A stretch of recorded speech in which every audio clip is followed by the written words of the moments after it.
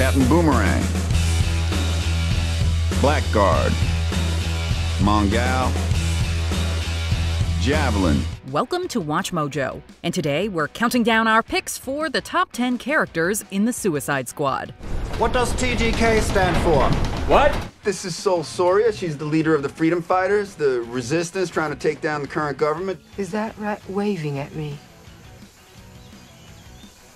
For this list, we're looking at the most interesting new and returning faces that appeared in the Wild DC film. Villains, heroes, and anti heroes will all be considered. Since we'll be diving into character backstories, a spoiler warning is in effect. Which character would you dance with in a Corto Maltese nightclub? Let us know in the comments below. Number 10, Starro the Conqueror. I call it Starro the Conqueror. That's meant to be derisive. Starro the Conqueror is by far the most unique big bad we've seen in the DC universe to date. The alien starfish can grow larger over time, create extensions of its own consciousness, and smash buildings if it feels like it. While Starro initially looked like it would be just another mindless CGI final boss, it had a surprisingly deep backstory. It was living its best starfish life until it was forcefully brought back to Earth and experimented on for decades while imprisoned. What the hell is this? I thought you were looking for Project Starfish. You brought us visitors, have you, Graves? Have you come to save me from that madman? Although Starro went on a destructive spree after being freed that needed to be stopped, we understood its rage. By the end of the film, we'd gained enough sympathy for the starfish that its final words left us a little emotional. I was happy, floating, staring at the stars. Number 9. Milton.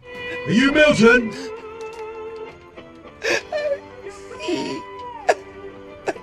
The squad wasn't truly complete until Milton was added to the roster. This Corto Maltese citizen was willing to do anything from grabbing empanadas to driving to risky places for the team. Although Milton could have sat out the final phase of the mission, he chose to go into the jaws of Jotunheim with his new friends. Yeah, no. His courage and loyalty made him the most memorable freedom fighter in the film. Unfortunately, Milton met his end during the final mission because he was a normal guy, and the enemies he encountered had guns. Although he may be gone, most of us will never forget him. Who's Milton? What? I don't remember any Milton. He has been with us the whole time! Number 8. Amanda Waller. Savant, I'm warning you, this is desertion.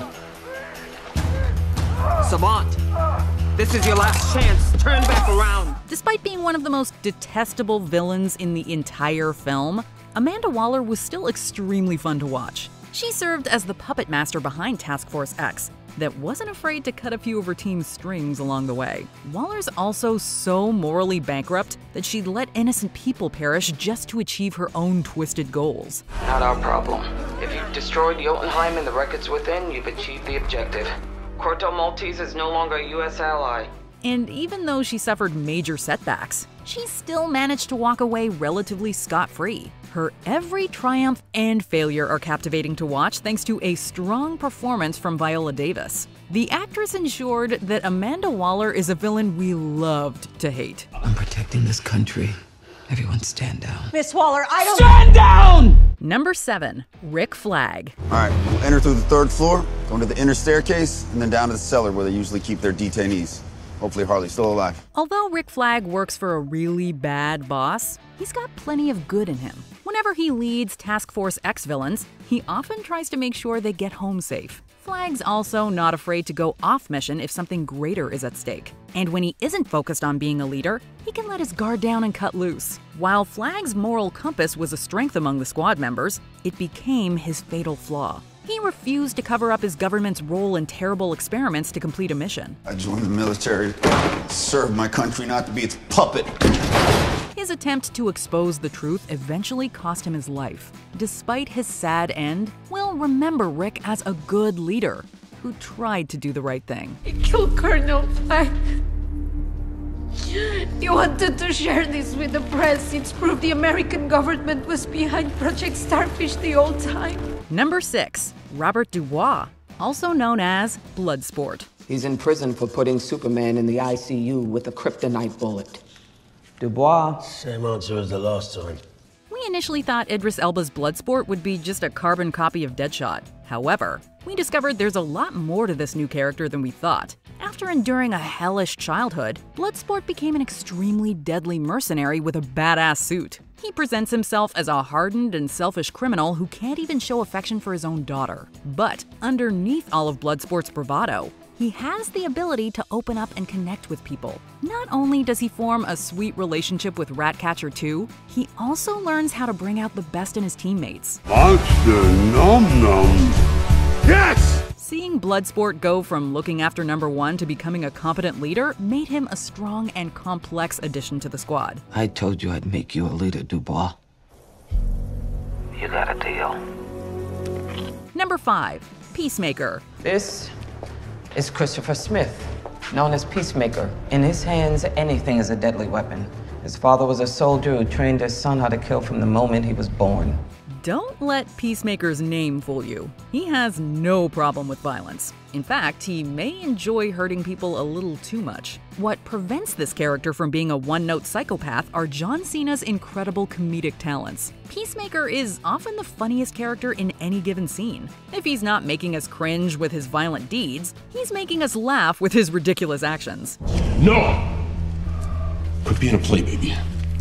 Peacemaker!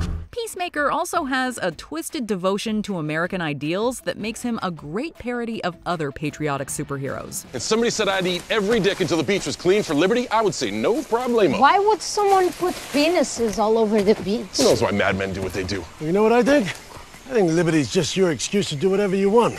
His unhinged personality and Cena's pitch perfect portrayal made us more excited to see the character return in the Peacemaker TV series. But if anything, He's shown he's resilient. It'll take some surgery, but eventually we'll get him back up to speed. You realize this is revenge, right? Number four, Dr. Harlene Quinzel, also known as Harley Quinn. What are you doing back in prison house? I got road rage in a bank. oh, so sorry. Actress Margot Robbie completed a hat trick of excellent Harley Quinn portrayals with her appearance in The Suicide Squad. The zany, clown themed villain returned to the screen more hilarious and unhinged than ever before. Fortunately, Robbie got plenty of time to show us the latest version of the character when she commanded her own side story. All the cruelty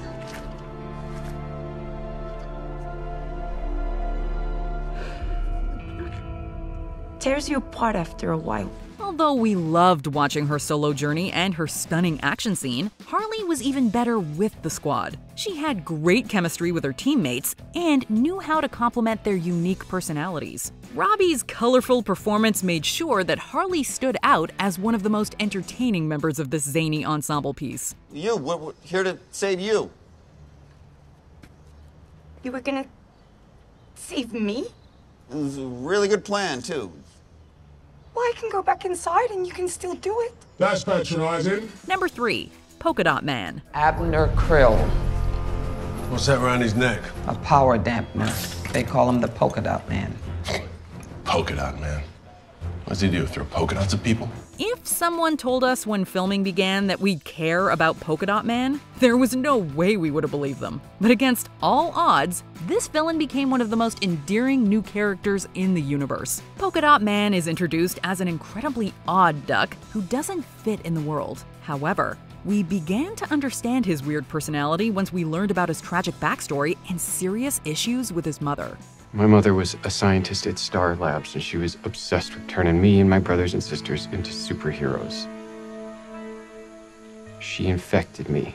Although Polka Dot Man's past pushed him to become a villain, he still has a sensitive side to him. This made his sudden and unexpected demise truly heartbreaking. While Polka Dot Man didn't get to overcome all his demons, we'll remember him dearly as the movie's most colorful character.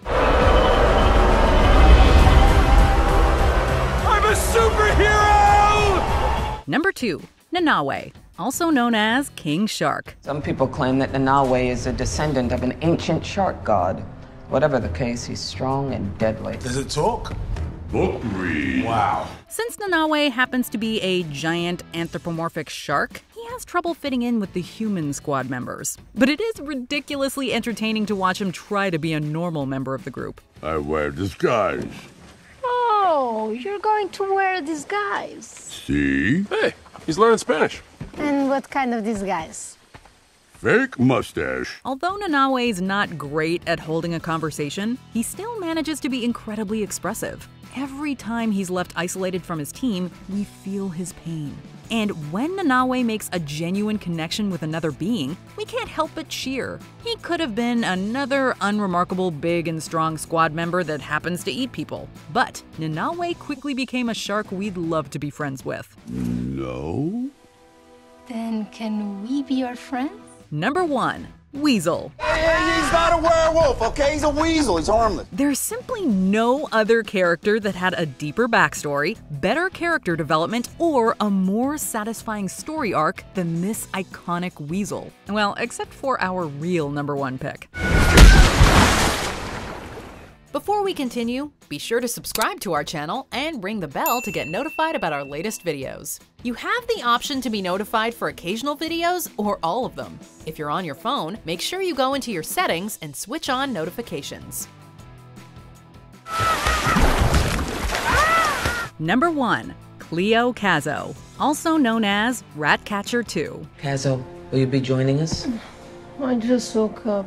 I don't function well early in the morning. My deepest apologies for disturbing you. Hmm, it's all right. A villain who used rats to steal valuables somehow managed to steal our hearts. In Cleo Cazo's youth, her father, the original rat catcher, taught her to command rodents. She sadly became the lonely rat catcher too after he suddenly passed away. After she made a few bad decisions, she was eventually roped into joining Amanda's sinister squad. Although she was labeled as a villain, she showed incredible kindness to her teammates. If I die because I gambled on love, it will be a worthy death.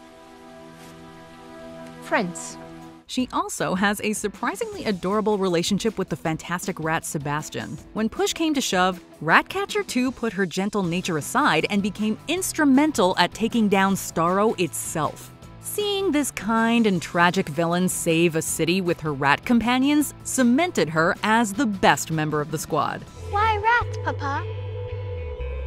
Rats are the lowliest and most despised of all creatures, my love. They have purpose so do we all. Do you agree with our picks? Check out this other recent clip from WatchMojo, and be sure to subscribe and ring the bell to be notified about our latest videos.